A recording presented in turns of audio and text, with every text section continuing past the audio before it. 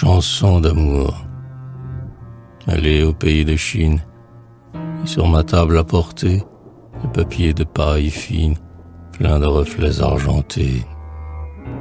Pour encre et pour écritoire, aller prendre à l'Alhambra le sang d'une mûre noire et l'écorce d'un cédrat.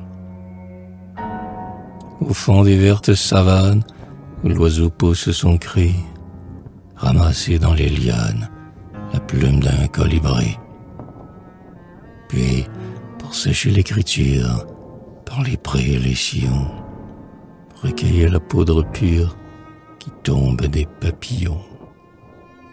Alors, de ma main fidèle, peut-être oserais-je un jour tracer le doux nom de celle qui me fait languir d'amour.